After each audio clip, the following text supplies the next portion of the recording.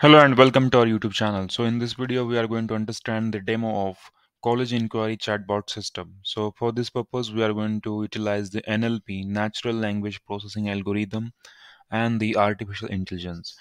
Now for this particular project, we will be having a data set. Uh, we'll create our own data set and uh, based on that data set, we can ask questions to the college chatbot and then the college chatbot will reply to the uh, questions asked now, uh, this is for particular college, so uh, you can even create for your own college as well. Simply, you will have to change the questions or the answers in the dataset, and then you will ask the questions. And uh, using the natural language processing technique, the chatbot will find the best uh, match for your question, and uh, according to that, it will reply the answer. Uh, this is the uh, paper supporting the idea. As far as the paper is concerned, uh, it's all about the college chatbot, but we will be adding some additional features as well, like uh, giving the feedback, then uh, unanswered questions, the log of the unanswered questions, so that we can store in the unanswered question wala thing. So that's what we are going to do. So many different things we are going to try over here. And the natural language processing techniques we are going to use under the AI and the programming language for the project will be Python majorly. And uh, of course we'll be using the HTML and CSS to design the front end. This is the complete uh, structure of the project. Some Python scripts some databases and some data sets we are having over here. Now once we run the code this kind of thing we will be getting the so this is the front page of the system. And now the important thing is this ask to college bot so here you will you will have to submit your details first in order to ask the questions. Now once you submit your questions you can start chatting with the bot. Now you can ask some questions. For example i want to know about admission process. One thing about the chatbot is it can uh, even and then it can reply. It can even uh, fix some uh, spelling errors. If there are some minor spelling error, errors it can automatically in your question if there are some uh, errors then it can uh, fix that. Please tell me about hostel facility.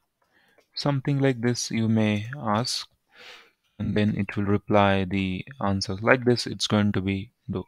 So now if you want to rate the chatbot then here you can uh, rate or you can give the feedback. And then in case of any suggestion or let's say my suggestion anything you can submit over here and then you can rate. So once you rate it will redirect to the home page now this is all about the uh, asking questions and answer but if there are some unanswered questions for which if the chatbot has failed to answer that particular question then it, that question will be here. For example let's say you will be putting here some your number and if you uh, for example what is what is your name for example like this so this question uh, the chatbot has failed to answer because that question uh, is not uh, the chatbot is not trained for such questions. Now such questions will be stored in the unanswered questions. So if you see so these are the several unanswered questions. So now currently this is the unanswered question we were talking about and uh, one text file will be created for such kind of questions. Similarly if you want to know the users list then you can get to know the this particular user logged in at this time. And so these are the users who has logged their time log along with the date and time will be displayed so that you can get to know all the details about that user. And if you want to give feedback then this is also a separate page for the feedback. Opco that was also available in the asked college bot page that this facility. But there is separately also you can uh, if you want to give some feedback to the uh, system then you can give from here. And if you want to view the feedbacks then you can click over here and you can view the users feedback. So this is our current feedback the rating and all those things can be available over here. So this is all about the implementation part of this particular chatbot. Uh, you can even uh, change the uh, questions. You, you can design the chatbot for your own college inquiry.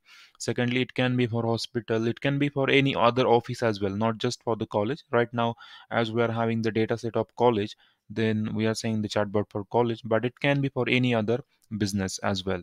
So that's all about the implementation part in case you need the complete code of this particular project. And along with its uh, documentation and other part then you can check out the description box under this video. Thank you so much